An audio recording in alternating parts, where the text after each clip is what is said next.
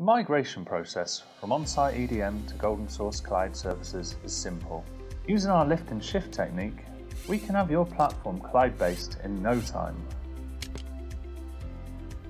First, we lift a copy of your platform to our secure cloud.